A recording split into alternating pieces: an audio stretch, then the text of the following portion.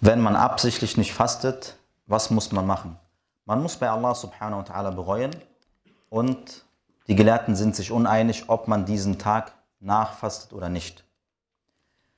Und keine Person sollte denken, dass das in irgendeiner Art und Weise eine Erleichterung ist. Ja, dass man sagt, okay, es gibt Gelehrte, die gesagt haben, du fastest diesen Tag nicht nach. Ja, ist doch besser für mich. Nein, denn warum haben sie gesagt, du darfst diesen Tag nicht nachfasten?